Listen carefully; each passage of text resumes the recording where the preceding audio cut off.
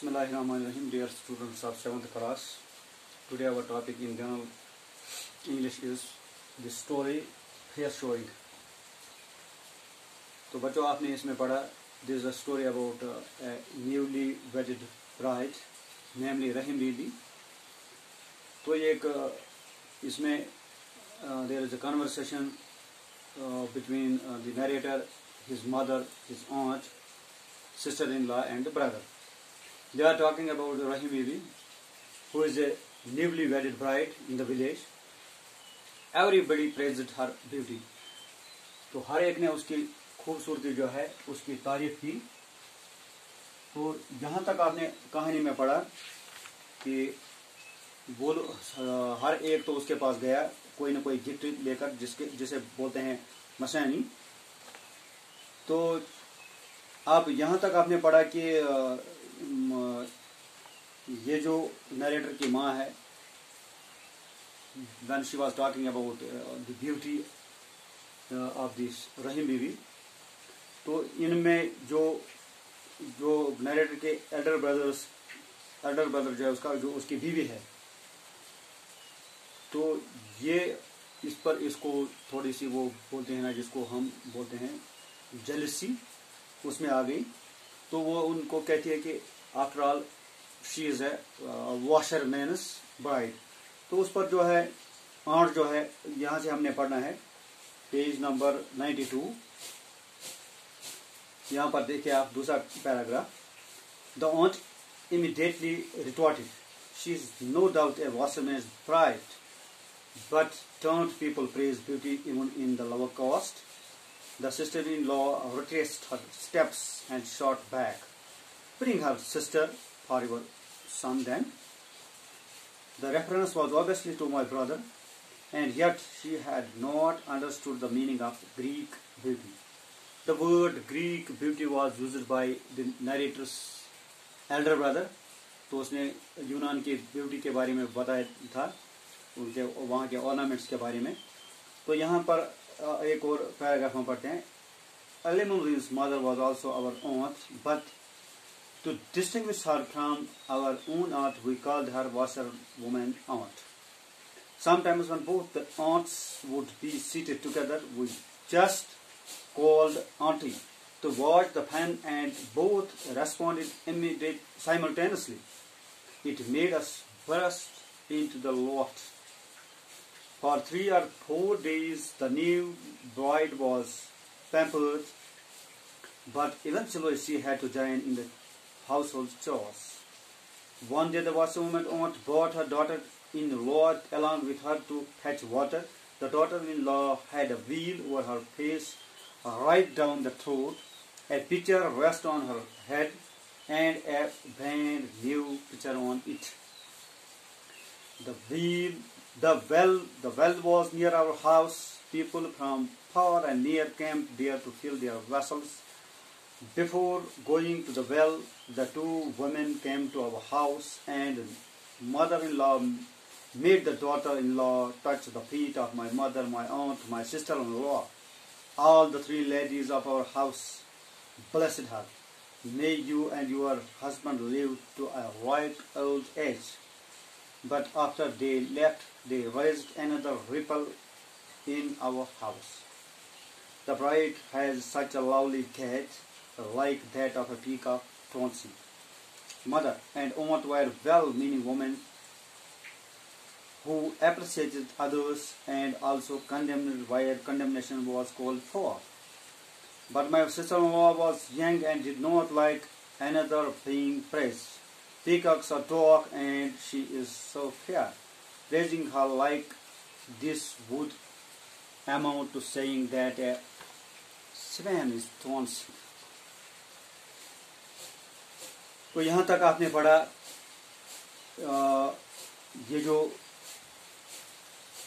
ये जो नरेटर की जो बाबी है उसने बोला था कि after all she is a washer man bride तो उस पर जो नरेटर की आंट है तो उसने साथ ही जवाब दे दिया। तो यहाँ से आपने पढ़ा द आंट इमीडिएटली रिटोर्टेड तो यहाँ पर यानी वापस इसने जवाब दे दिया।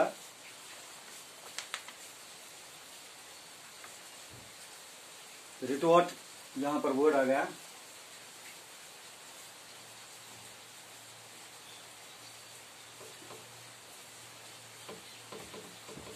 रिटोर्ट का मतलब यह है, जल्दी में जवाब देना है या गुस्से में जवाब देना। तो उसने जवाब दिया she is no doubt what's women's but don't people praise beauty even in the lower caste we should admit this thing that वो उसको कहते हैं कि अगर चाहिए एक लव कास्ट की है, क्या लोअर कास्ट में ब्यूटी प्रेज करना कोई ये नई बात है? या हम ये कहेंगे, क्या नहीं करते हैं लोग?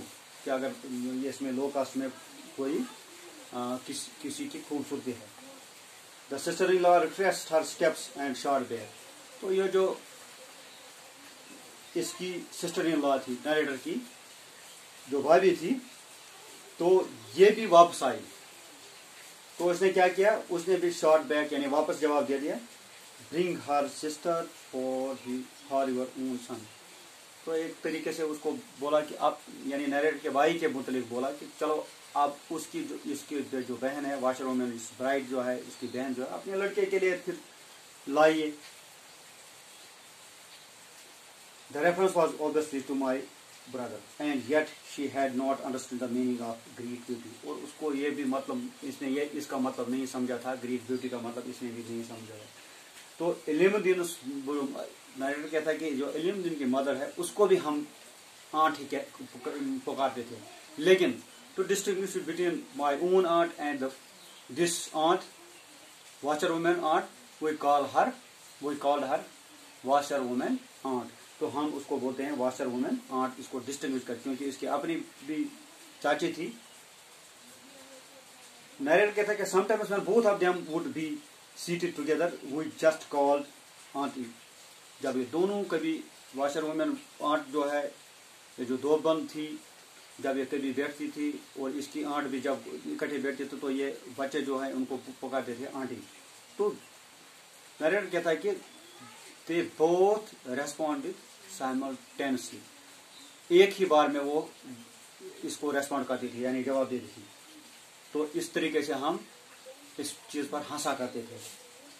For three or four days the new bride was temple दो चार दिन तक इसकी आव भगत की गई, जो नई दुल्हन थी, इसकी आव भगत दो चार दिन इसको बहुत ही मतलब ये कहेंगे कि इसको काम करने नहीं दिया गया, इसकी वो जो आव भगत हो गई।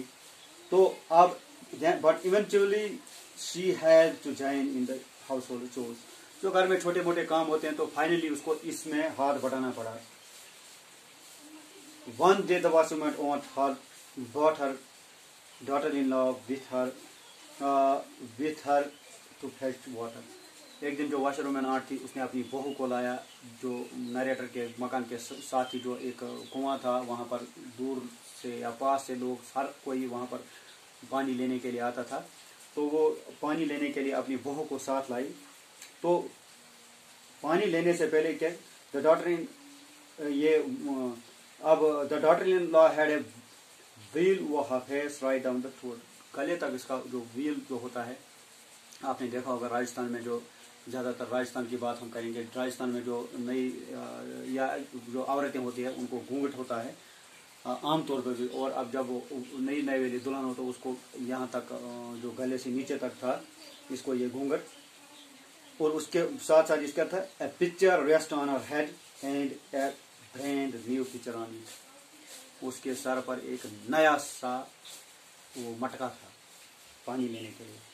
तो वेलवाज नियर हाउस चूँकि नरेटर बोलता है, ये हमारे मकान के सामने ही ये कुआँ था दूर से लोग आते थे।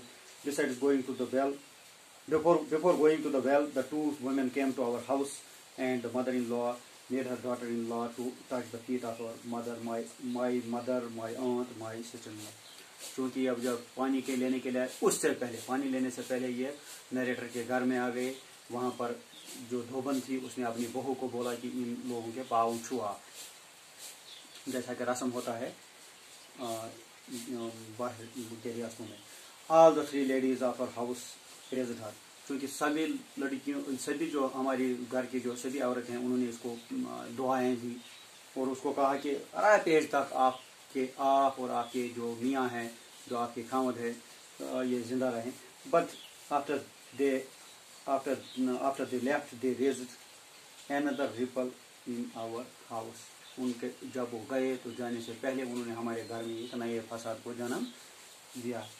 The bride has such a lovely gait like that of a peacock dancing क्योंकि उन्होंने बोला, इसकी ब्राइड क्या नाम है इसका नरेटर की माँ ने बोला कि ये जो है उसका कैट उसका चलन चलना, यानी उसके कदम कदम वो चलने का अंदाज जो है उसके चलने का अंदाज जैसे ऐसा लगता है जैसे मोर नाचता है।